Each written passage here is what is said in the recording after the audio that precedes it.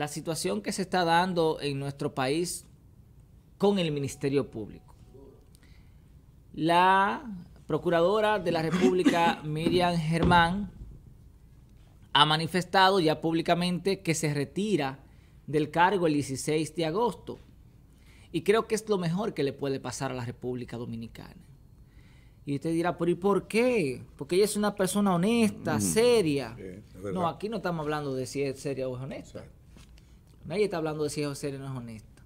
Estamos hablando del resultado como funcionaria, que es lo que nosotros tenemos que aprender a deslindar, a separar, a identificar, a individualizar.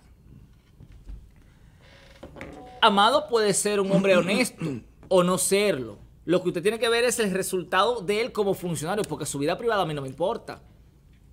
O sea, no que no me importa, pues somos amigos, pero no debe importarme en el sentido de que esa es su vida.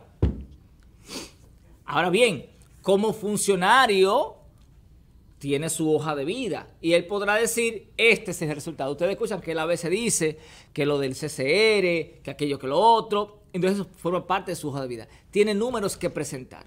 Cuando termine el 16 de agosto, la Procuradora General de la República terminará con cero.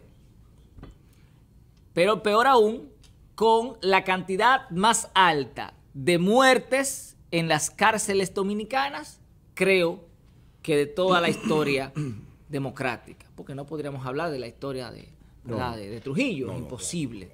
O sea, eso lo dejamos fuera. Pero de la historia democrática, yo no tengo registro de tantos muertos en cuatro años en los centros penitenciarios. Y esa carga se la lleva a ella. Yo prometo hacer esa investigación y presentar esos números. Y ojalá algún medio nacional pudiera hacerse que No se van a hacer porque aquí hay, una, hay un combalache entre algunos sectores. Ah, no, a esa no, porque esa es mía. Y entonces, y entonces, los acuerdos que se están llevando a cabo, señores, dan pena.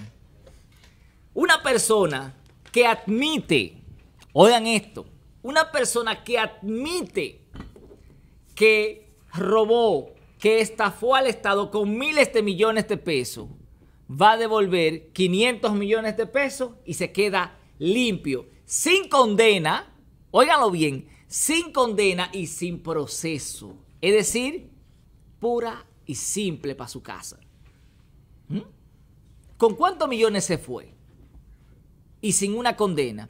usted dirá, bueno, es que él va a colaborar con el Ministerio Público, pero hay que tener cuidado con esas colaboraciones. Recuerden el caso famoso en San Francisco de Macorís de Emily, eh, Peguero, donde el que escondió el cadáver, el que anduvo con el, cadáver, con el cadáver para arriba y para abajo, dijo, yo voy a hablar. Lo sacaron del caso y no pudo probar nada. Porque al fin y al cabo, ¿para qué era que lo querían a él? Para demostrar, demostrar que Marlin era cómplice. Es decir, se enfocaron en tratar de conseguir 20 años contra Marlin.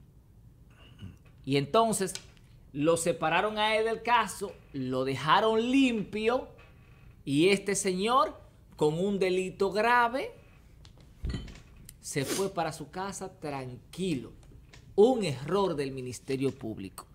Y lo traigo a colación para que tengan cuidado de no hacer lo mismo. De dejar gente que supuestamente robó libre y luego no puedan probar nada. Eso es delicado. Porque entonces no quedamos sin el pito y sin la flauta. Pero además de eso, una empresa que haya, que haya cometido actos fraudulentos no puede seguir negociando con el Estado. Y entonces estas empresas de estas personas que están imputadas van a seguir negociando con el Estado. Y hay quienes dicen, no, lo que pasa es que fue él que lo hizo. No, no, no. Si lo hizo en nombre de la empresa y en representación de la empresa, con el aval de la empresa, la empresa va porque recibió. Y por tanto la empresa debería quedar anulada para asuntos de contratar con el Estado. Contrata de manera privada si usted quiere, pero con el Estado no. Con el Estado no porque ya demostró por dónde anda la cosa. Entonces, eso es delicado, porque a veces se enfocan tanto en perseguir a una persona. Es lo que va a pasar con, el hermano de Danilo Medina. al hermano de Danilo Medina le han caído a él. Y es posible que a la larga no le puedan probar nada, aunque haya robado. ¿Tú sabes por qué? Porque él vendía, es verdad que el tipo le vendía, vendía hasta chicle. Eh, el Estado vende, compra chicle, yo vendo. Compra varilla, yo vendo. Compra, yo, él lo vendía todo. Pero eso no es estafa. ¿Qué es tráfico de influencia? Sí, pero aquí no está penado eso, lamentablemente. Entonces, en el caso hipotético de que hubiera alguna coima, algún beneficio, ¿quién es el culpable? El funcionario. Y obviamente la persona que no debería contratar nunca más con el Estado. Entonces, es algo delicado. A mí me hubiese gustado ver reportajes de investigación sobre este tema, profundizar, ¿verdad? Que los programas de investigación como el de Nuria, como el de Alicia, profundizaran, que sacaran los números, que fueran a, sacar esos documentos, a ver qué es lo que es, y que el pueblo se pudiera enterar. Pero aparentemente hemos perdido eso también. Hemos perdido el sentido periodístico en, la República Dominicana. Yo no tengo las herramientas para investigar. Obviamente a, eso, a eso usted no puede acceder de manera fácil. Para eso hay que tener muy buenas conexiones y tener un buen billete para usted poder investigar profundamente como lo hacen ellos. Y nosotros no tenemos esa herramienta ahora mismo. Sí llamar la atención del Ministerio Público.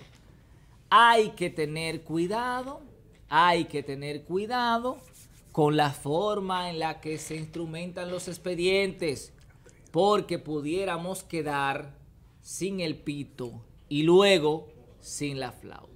Gracias, Bien, como no, gracias. Eh, muchas gracias, Yerjan La Antigua.